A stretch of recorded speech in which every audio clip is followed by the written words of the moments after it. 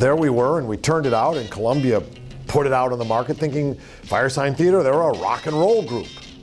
I mean, you know, everybody else was a rock and roll group with a funny name. We were released in our release on that in February of 1968. Waiting for the Electrician or Someone Like Him was released by Columbia Records, and in that same release was The Peanut Butter Conspiracy, The Chambers Brothers, and Moby Grape.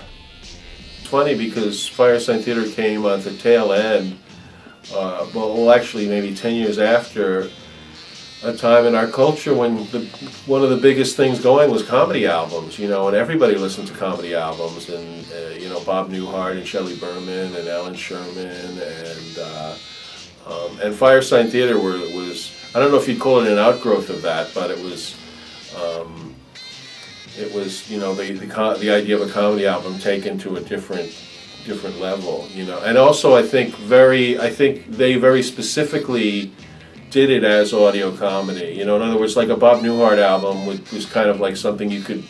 It was like his stand-up act, but it was on his album. Whereas um, uh, Firesign Theatre was, the, it, it, seems like they, they mixed it that, that, that, a person would be sitting and listening to it, and it, it would be kind of seeping into their uh, brains.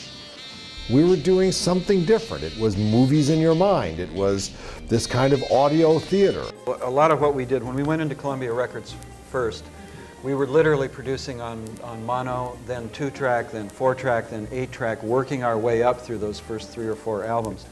Uh, thanks to a guy named Bill Driml and a, someone who's no longer with us named Ralph Cross, who took us under their wing, who were union uh, engineer guys at, uh, at Columbia Records and just did endless hours with us of figuring out, oh, well, can we put this voice through the horn of a Leslie speaker? Right. How are we going to mic this? How are we going to do, it? how are we going to literally invent yeah. filters because none of this stuff existed electronically at the time. Yeah. And these people were very, very much our collaborators and always have been. We have always been kind of, uh, you don't wind up working with us from an engineering and production standpoint and, and, unless you sort of become as nuts as we are. And we are so nuts that we we mini, we micromanage every aspect of all our recordings. A friend of mine uh, once said, a friend of mine who's in commercial radio, syndicated radio, after listening to me tell about how we were working on some project, stared at me and said, "Oh my God!" He said, "Like you're some, you're like some Japanese samurai artists that are being set aside by the government and sitting making swords."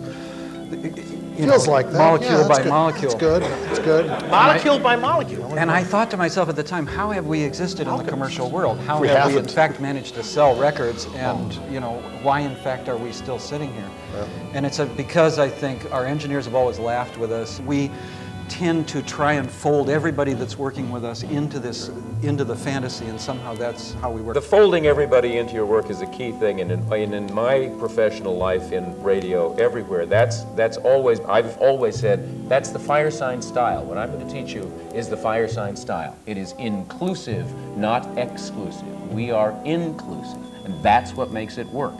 That's very unusual in a hierarchical world to be inclusive and uh, and I think that's that is that really marks us as a, as a style, inclusiveness.